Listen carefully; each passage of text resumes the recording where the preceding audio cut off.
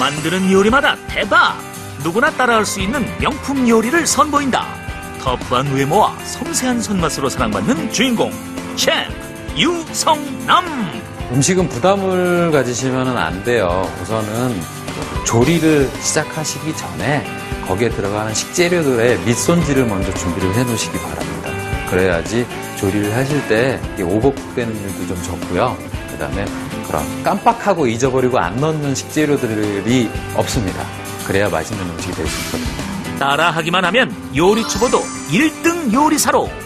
남부럽지 않은 요리 실력을 뽐낼 수 있는 셰프 유성남표 레시피를 지금 바로 공개합니다. 기대 많이 해주세요.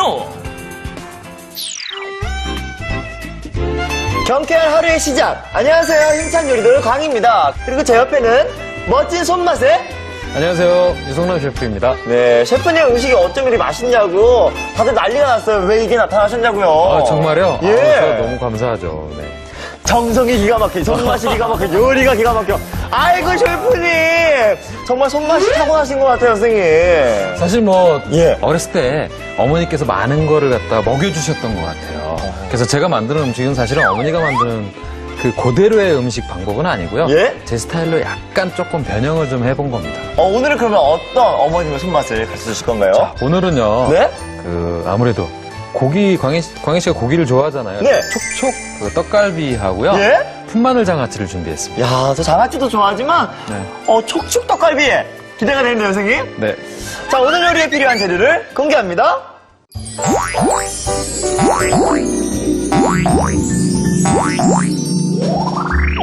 남녀노소 모두가 좋아하는 메뉴. 떡갈비에 아스파라거스를 넣어 더욱 특별하게. 씹을수록 고소한 촉촉 떡갈비와 손쉽게 뚝딱 만들어 즐기는 든든한 밑반찬. 새콤 알싸한 맛이 일품인 풋마늘 장아찌. 재료 살펴볼까요? 촉촉 떡갈비 재료는 아스파라거스, 베이비 채소, 버터, 베이컨, 다진 양파, 소금, 당육수, 후춧가루. 고기 반죽 재료는 소고기, 대파, 버터, 빵가루, 다진 양파, 후춧가루, 다진 마늘, 간장, 참기름, 소금, 달걀.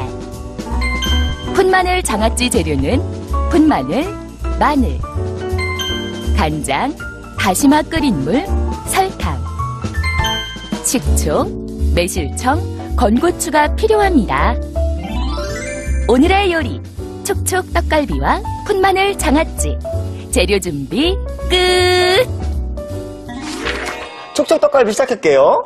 근데 선생님, 이 빵가루가 왜 있는 거예요? 돈가스도 아닌데? 네, 우선 빵가루를 준비한 이유는요. 네. 그 고기에 고소한 맛을 좀 더 더해주기 위해서요. 그래서 오. 이거를 갖다가 그냥 사용하는 게 아니고요. 버터에다 좀 볶아서 사용을 할 겁니다. 빵가루도 조리가 필요해요? 그럼요. 자, 우선은 팬을 좀 달궈주시고요. 네. 여기에다가 버터를 좀 한 조각 넣어주세요. 어, 요거 팁이네요. 맛있는 요리의 팁. 네. 그리고 또, 또 다른 팬에는요. 그 양파를 좀 볶아줄 거예요. 제가 빵가루를 볶- 한번. 네, 좀 도와줘요. 예. 빵가루 조리 해볼게요, 저는. 버터를 우선 이렇게 좀 눌러서 예. 녹이시고 그다음에 바로 빵가루 넣으시면 돼요. 바로 넣어도 되나요, 지금? 예, 버터가 좀 녹으면은 바로 넣어주세요. 예. 오, 시작부터 또 새로운 팁인데요, 선생님, 지금? 네. 아무래도 근데 대부분들 보면은 빵가루 그냥 사용하거든요. 맞아요. 근데 볶아서 사용하는 게 훨씬 맛있어요. 오. 제가 한 이틀 동안 선생님 요리를 보면서 네. 실패한 적이 한 번도 없잖아요. 네. 이제 100% 믿음이 갑니다. 아, 진짜요? 원하시는 대로 다 하세요. 맛있으니까. 막. 예? 아, 근데 그 음식은 정성이고요. 꼭 예. 갖춰야 되는 그런 조리법을 꼭 잘 지켜주는 게 사실은 음식을 맛있게 만드는 방법이에요. 물론 좋은 식재료가 첫 번째고요. 네. 자, 자, 불을 좀 세게 하셔도 괜찮아요. 아, 그래요? 네. 어.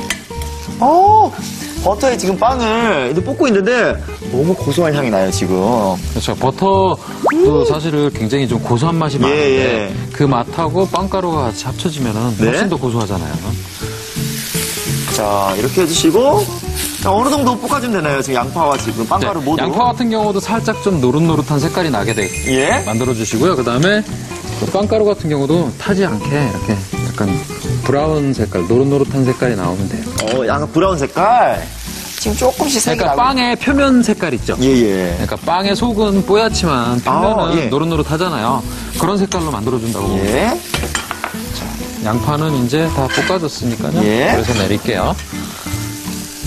자. 빵가루도 어느 정도 지금 색이 나고 있어요. 네, 빵가루도 뭐 금방 금방 예. 볶아져요. 자, 근데 빵가루 선생님. 네.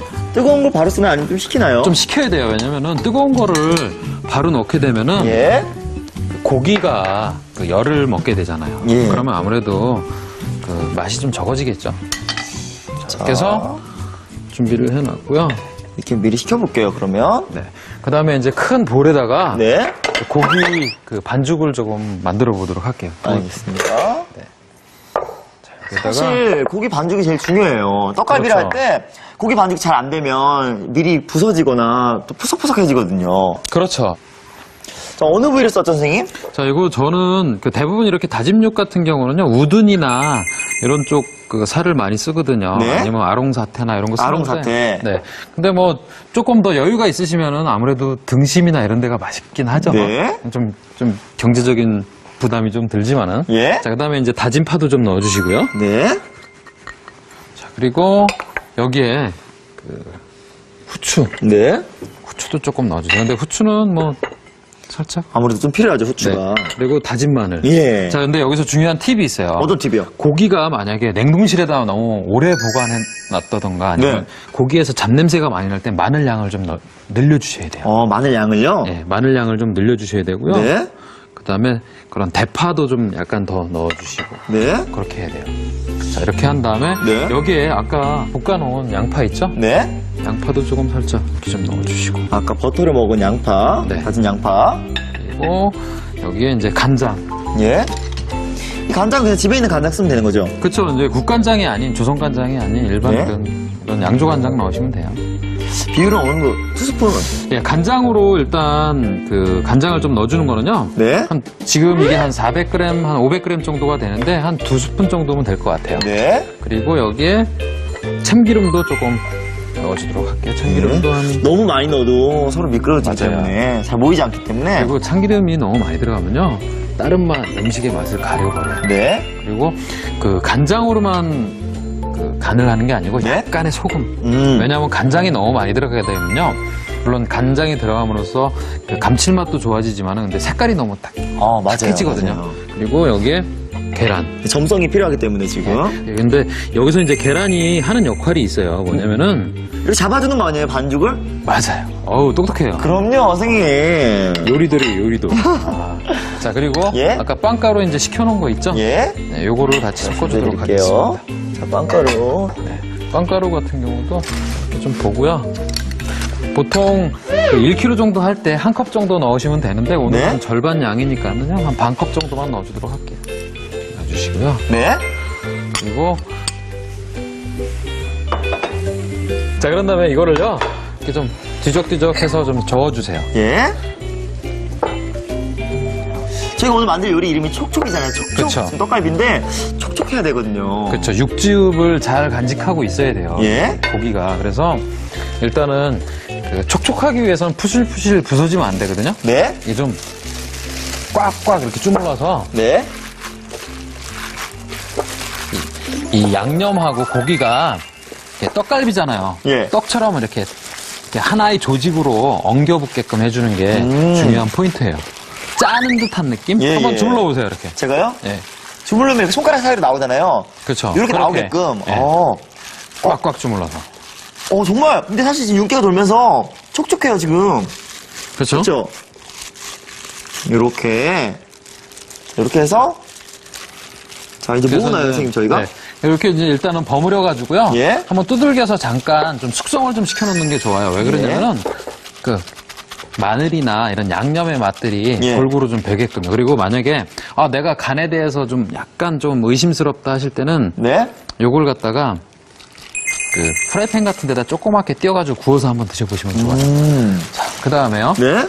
그 여기에 이제 그 촉촉갈비에 네. 오늘은 제가 봄철이고 해서 그 아스파라거스를 좀 같이 곁들여 보려고 어, 이. 아스파라거스는 사실 서양 음식 먹을 때, 스테이크 먹을 때 항상 옆에 있었던 거예요. 그쵸. 전 데코레이션인 줄 알고 안 먹었는데, 이거 그렇게 몸에 좋다면서요? 아, 특히 남자들 스태미너에 굉장히 좋은 어, 음식이에요. 그럼 제가 가지가 들어올게요. 예. 우선 이제 물 끓, 끓고 있는데요. 네. 여기에다가 그 소금을 약간 조금 넣어주도록 할게요. 예. 그리고 나서 아스파라거스를 바로 좀 살짝 데쳐줄 거예요. 어, 살짝, 한 몇 분 정도요? 뭐한 20초 정도? 어, 20초 정도만? 네. 왜냐면 여기서 다 익히는 게 아니고요. 예. 살짝만 그 표면만 좀 익혀주는 거예요. 그리고 나서 이걸 갖다 후라이팬에서 다시 한번 볶아줄 겁니다. 자, 그리고 다른 팬 하나에다가는 네? 다시 이제 예열을 좀 할게요. 여기서는 자, 버터를 한 조각 팬에다 넣어주시고요. 네. 그리고 나서 여기에 그 베이컨 다진 거하고 양파 다진 거를 같이 좀 볶아줄 거예요. 지금 뭐를 만드시는 거죠, 이거는 지금? 아, 이거는 뭐를 만들 거냐면요. 이렇게 아스파라거스를 살짝 데쳐낸 다음에 여기다 다시 볶아줄 겁니다. 오. 아, 살짝 아스파라거스에 간이 되도록. 그렇죠. 예. 자, 지금 한 30초 정도 네네. 했거든요. 됐어요. 건지시고요. 예. 잠깐만 좀 불에서 내려놔 주세요. 예. 어, 광희 씨가 네. 그 셰프 어시스턴트도 굉장히 잘할 것 같아요. 그럼요, 지금 선생님이 몇 분이 지나가셨는데요, 저를. 그러니까 제가 그 많이 배웠거든요. 아, 그러니까요. 생각이 많이 혼나고요. 아, 진짜요? 예. 어, 누가 그렇게 혼내던가요? 아, 비밀입니다. 자, 이렇게 좀 볶아주시면요. 아스파라거스를 바로 넣어주세요. 네. 넣어드릴게요. 어, 아스파라거스 그냥 생으로 나온 줄 알았는데 또 이렇게 네. 살짝 간을 하면 더 맛있을 것 같아요. 그렇죠. 그 다음에 여기에 이제 네. 소금도 살짝 좀 간을 할 거고요. 소금이요. 네. 그 다음에 저기 닭육수가 있을 거예요. 여기다 닭육수를 넣어요, 지금? 네. 닭육수를 오. 조금 넣게 되면은 이 데칠 때는 사실 살짝만 익혔잖아요. 예. 근데 여기에 이제 닭육수를 조금 넣어줌으로 그 아스파라거스를 조금 더 익혀주면서 네. 그 감칠맛을 더 나게 해주는 효과가 있는 거예요. 선생님, 후추도 넣을까요? 네, 후추도 조금 넣어주세요. 네, 조금만 뿌려주시면 돼요. 네. 이렇게 해서 네. 닭육수가 졸을 때까지만 살짝 볶아주시면 돼요. 오. 이렇게 먹으면 아스파라, 아스파라 이 자체로도 굉장히 맛있어요. 네, 요리가 하나의 요리가 될 것 같은데 닭육수를 볶아낸 아스파라거스 한번 맛봐도 될까요, 선생님? 아, 그럼요. 자, 이제 다 됐습니다. 자, 선생님 아스파라거스 한번 와볼게요. 네, 이제 충분히 볶아졌는데요. 어, 이렇게 먹어보는 건 처음이에요, 제가. 그래요? 한번 드셔보세요. 이거 굉장히 맛있어요. 오. 사실 저희 엄마하고 가족들은 아스파라거스 너무 고소하고 맛있다고 좋아하거든요. 네. 저는 아스파라거스의 맛을 잘 몰랐어요. 근데 많은 분들 그러실걸요, 아마? 저랑 비슷하실 것 같은데. 아, 요 근래에는 근데 많은 분들이 아스파라거스 굉장히들 좋아하세요. 아, 확실히 베이컨하고 지금 다진 양파, 버터가 들어가가지고. 요것도 좀 양념도 조금 예. 같이 곁들여 보도록 할게요. 먹어볼게요, 제가. 음! 맛있겠다. 이렇게 해서 먹어볼게요. 어? 아, 정말. 뜨겁습니다. 예? 뜨겁죠? 아, 너무 맛있어요, 선생님. 근데 맛이 굉장히 좋아요, 이게. 이렇게 하나만으로도 요리 같아요, 선생님. 빵하고 드시면 하나의 그 브런치 메뉴가 되기도 아, 해요. 아 까 아스파라거스 살짝 데쳤잖아요. 그래서 네. 그런지 약간 사글사글하게. 너무 아삭아삭하지 않고 사글사글하게 해서 베이컨하고 들어가서 너무 맛있네요. 떡갈비랑 먹으면 더 맛있겠죠? 그렇죠. 아무래도 갈비하고 굉장히 잘 어울려요. 네. 자, 이제 떡갈비랑 빚어볼까요, 이제? 네. 이렇게 우리가 아까 좀 버무려 놨잖아요. 네. 충분히. 요거 이제 성형 작업을 할 거예요. 아스파라거스 필요할 것 같고요. 그렇죠, 예. 근데 무엇보다 찰지게 조금 사실 떡갈비가 잘 익지 않아요. 앞뒤가 잘 익지 않고 안에가 제대로 익지 않기 때문에 바깥을 네. 타고 안에는 안 익기 때문에 두께도 중요하잖아요. 빚을 때. 그렇죠. 근데 떡갈비를 익힐 때 되게 중요한 포인트 중에 하나가 뭐냐면은 네? 이 프라이팬에서 익힐 때요. 약한 불에서 오일을 좀 넉넉하게 넣고 약한 불에서 천천히 익혀주셔야 맛있어요. 음. 자, 우선은 보통 한 뭐 7, 80g 정도 되게끔 이렇게 잡아주세요. 네. 그리고 작은 주먹만하게. 네 이렇게 그리고 이렇게 떡갈비를 이렇게 넓적하게 좀 펴주시고 예. 오! 윤기 좀 보세요, 선생님. 네, 이렇게 살살 네. 그래- 그리고 나서 여기에 아스파라거스를 여기다 놓고 예. 말아주는 거예요. 요 맛있는 아라, 아스파라거스를요. 이렇게 해서 이렇게 감싸주는 거예요. 어, 양념도 아까워. 그래서 아스파라거스가 빠지지 않게끔 예. 뭐 아니면 하나 넣으셔도 되고 한번 두 개 넣어보세요 두 개 가늘은 거는 예. 아예 이제 어린 친구들은 아스파라거스가 생소하다 보니까 안 먹을 수 있으니까 아예 치즈. 떡갈비에 넣어서 치즈를 넣어줘도 되고. 같이 넣어줘도 돼요. 여기다 치즈하고. 이렇게 해서 자, 이렇게 해서 이렇게 해서 자 어! 너무 맛있겠어요 선생님 바로 이제 팬에서 지져보도록 할게요. 예 자, 이렇게 해서 살포시 기름 위에 놔주세요. 어, 그 러면 지글지글지글 하면서. 근데 무엇보다 중요한 것은 있잖아요 네. 이렇게 하다 보면 겉에는 익어요 네. 근데 안에가 안 익을 때가 많아요 자, 그래서 중요한 게 뭐냐면은, 자, 이제 지글지글 소리가 나면은요, 예. 불을 아주 약하게 틀어놓으셔야 돼요. 지글지글 소리가 나는 순간 불을 아주 약하게 예.